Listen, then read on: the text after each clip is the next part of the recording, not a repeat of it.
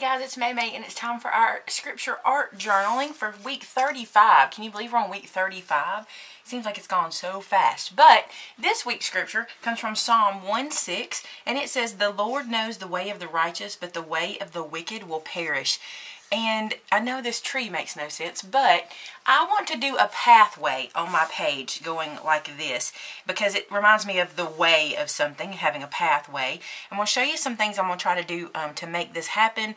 And you probably know that I'm that person that says use what you got, so that's what we're going to try to do.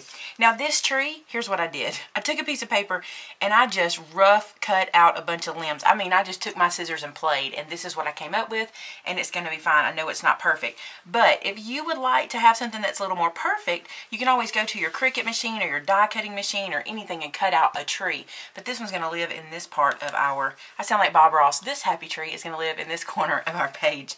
Now, I want to make a pathway that runs across the page. So the first thing I'm going to do is take a pencil and put in my tree where I want it. I'm just going to kind of um, start my pathway something like this and just kind of give myself a guideline. And then I'm going to come back and do it something like this, kind of going off into the distance. And see how I want it to come across this tree? I'm going to bring this out like this. Now this is just to give me a guideline because I'm fixing to try something and I don't know if this is going to work or not. I did test it one time and it kind of worked. Here's what I did. This is one of my stamps. It's actually from one of my stamp sets called Berry Sentimental. On the other side, it says Get Better Soon, but I'm going to be using the back side of it because it's kind of the shape of a rock. I know, I'm really pushing it. And I have this ink from, um, from Memento called London Fog. It's kind of a gray color. And here's what my plan is. Let me show you. I better get my scrap pad out because if I don't, I'm going to have a mess. If you don't know, what I'd like to do is have these cheap little 15 cent notebooks that you pick up this time of year when school starts back cheap, and I use them for scrap pads. All right, so I put that underneath, and I'm going to ink up my rock, and I'm just going to start in my guideline there, which I can erase, by the way. So see how I get the look and the feel of kind of a stone? And I'm even going to leave a gap between them to kind of look like it's cobblestone even.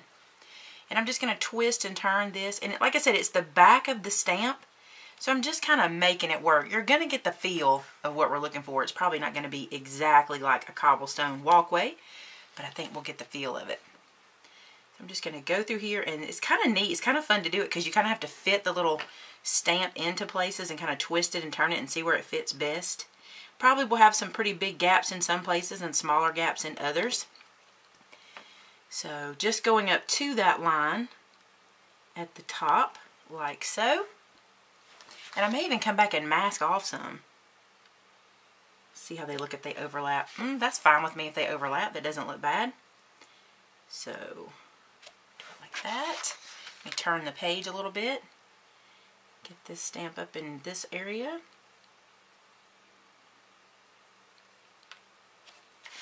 Now you just have to go through your little stamp collection and see what you got that you can make turn into a rock. You may have rocks. I don't know.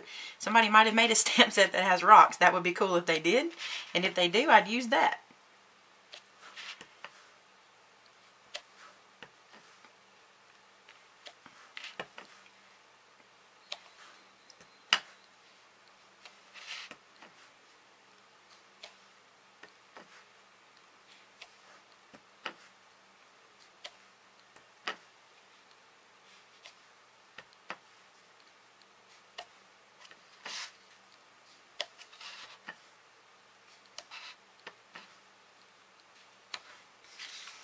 That's kind of the feel of a path. Let's see what I can do about this right here. I'm going to do some selective inking. I think I'm just going to ink up about half of the stamp and then just lay it on that edge. See, that'll work. Just do selective inking instead of having to um, mask it off. Here's how you do that. I'm going to clean the stamp. Then I'm going to stamp. I'm going to ink about half of it and then just lay it on that path and get into those little spots. Same thing here. I'm going to ink a little less than half on this one. So see, that works. Now what I'm going to do is take the same stamp. I'm going to clean it off real quick. And then I'm going to put, I just have a baby wipe that I'm wiping that on on the side of the screen here. Then I'm going to put it into this really pale um, Ranger Distress Ink. This is Antique Linen. And I'm going to go back. I need to fix that, but I think this might do it. I'm going to go back. And this is almost like second generation, but we're using a different color. And I'm going to stamp again with this other color in between them to kind of give it a feel of maybe grout or just another color in there for more um, for more texture.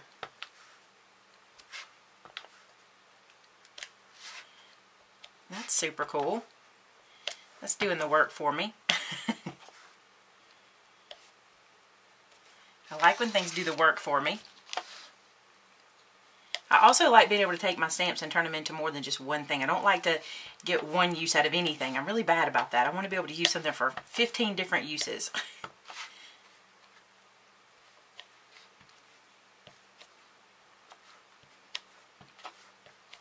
and see how it's kind of giving it like a grout feel or a multi multicolored stone feel.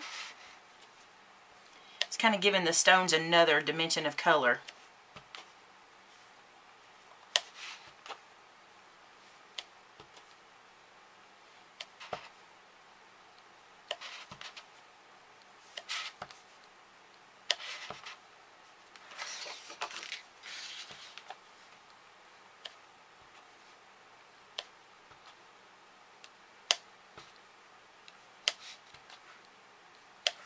Okay, so that's pretty colored. Let me do this down here. This feels a little too bright.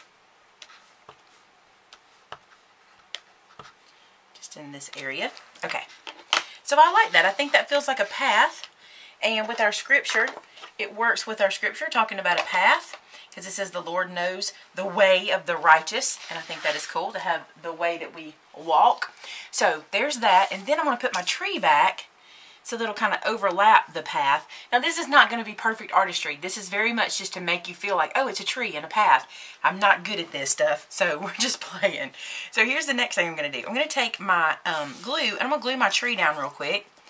Because the um, next little thing I actually tested at another time in my life. It's not something I just did now. But I'm using a pen. I'm going to use a pencil eraser to get the feel of leaves. Because if you don't know, you can stamp with pencil erasers or um, the rubber material that makes um, pencil erasers. You can use that to stamp with. So let me glue this tree down and I'll show you what I'm talking about. So I'm going to get this up in the corner just like that and then pat my branches down. And I really want my um, branches all glued down real well because of this next technique we're going to do. I'm calling it a technique loosely, okay? Because it's really just playing. I put my pen back in my glue. Never forget to do that because you will be cleaning out that little tip if you don't. All right, now multiple inks. We're going to use Peanut Brittle from Memento. Oops, I'm going to drop that one first. We're going to use Antique Linen from Distress Ink. I'm going to use Vintage Photo Distress Ink.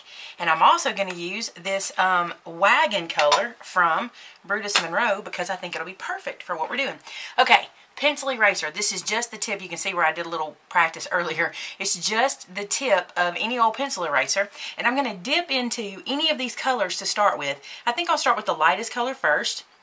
Only because moving from um, light to dark won't really contaminate your ink pads. So I'm going to start here and I'm just going to go around this tree and put a bunch of dots.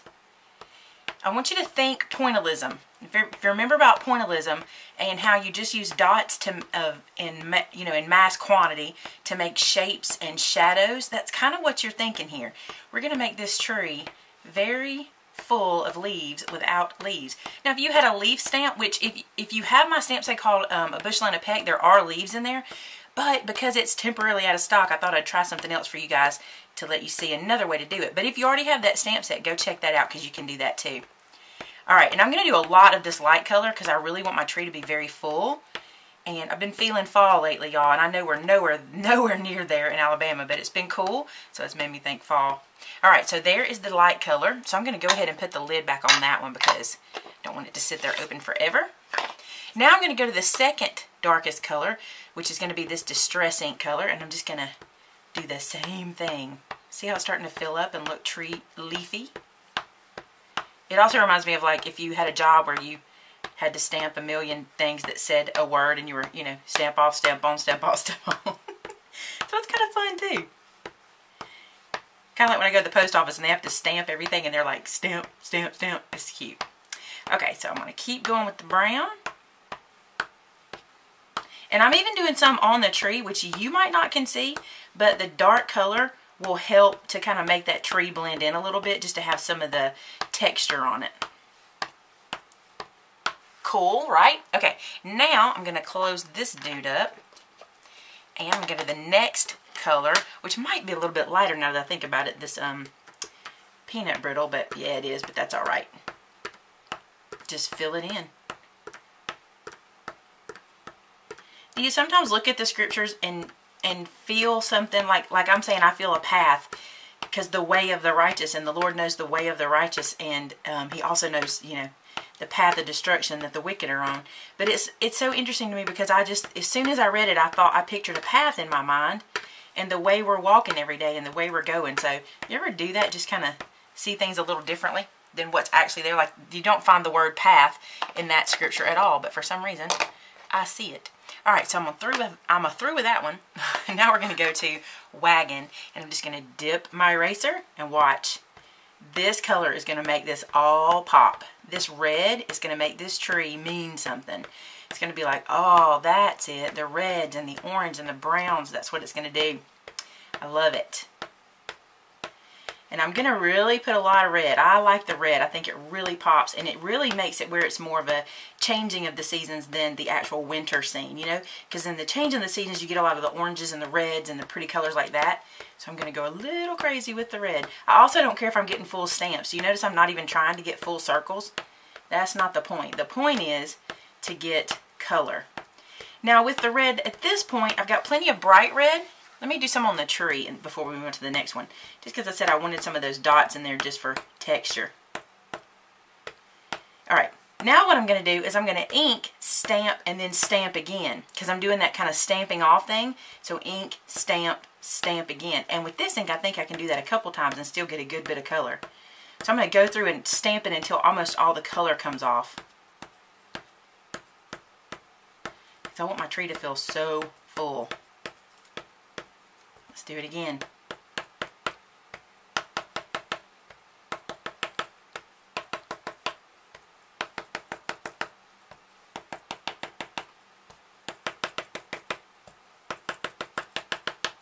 Alright, now I think I want to go back to the orange color and bring some of that in. So this peanut brittle color, I'm going to bring some of that back in. It's almost like painting with your eraser.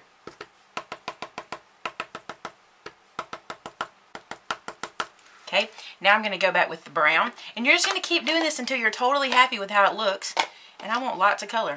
So I'm going to go back with this dark brown and kind of do that same stamp, stamp off thing. Looking good? All right, I want to do one more or one more pass on the light color again. So I'm going to wipe my eraser off on my baby wipe. Not that it's going to matter too much, but just a little bit.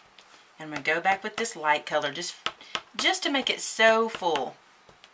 I'm going to stop there. I feel good about it. I like the tree looking like that. I like the path looking like that. Now then, I want to kind of look at it for a minute and see what I want to do next. I think I'm going to try something. I think I'm going to go back to my rock stamp, which is not a rock stamp, but it's what it is. And I'm going to come along the edge of this path with a different rock. Oh, wait, I just thought of something. Let me try this. Hold on. So I'm going to take my rock stamp again and the vintage photo and I'm going to ink this um, stamp half on and half off like they're calling selective stamping, okay? And then I'm going to go to the edge of the path and just stamp this darker rock all the way down in a half shape like it's a border for the path.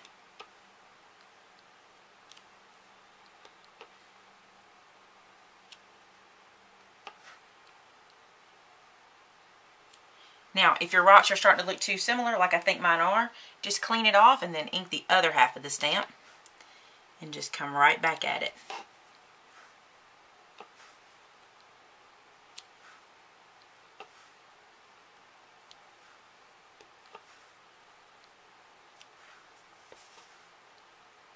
And I'm trying to move it around some as I go too. I think that's kind of cool. Now I'm going to do the top of it. So there's a little border path. I'm going to come in here and get rid of some of the ink off of this. Kind of knock the color back too.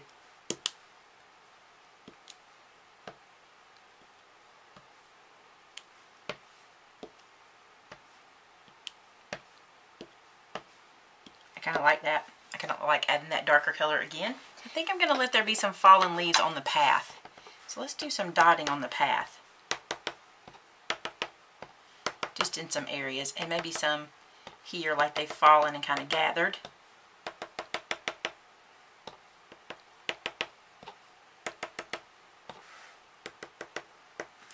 I'm going to stop because I'm getting carried away. Alright, I just wanted the feel of a path and a tree. And I know there's no background done or anything, but this is just kind of what I wanted was this feel of a path and a tree. Now I want to write the verse on the page as well. I've got this brown big marker, and I'm going to start up here and then split my verse in these two spots. So the first part is going to be the Lord knows the way of the righteous up here.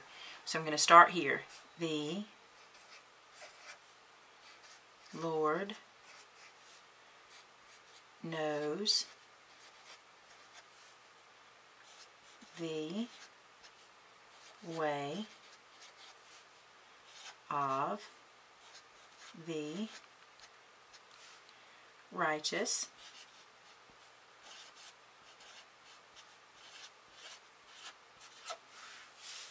and then but the way of the wicked so I'm going to start here but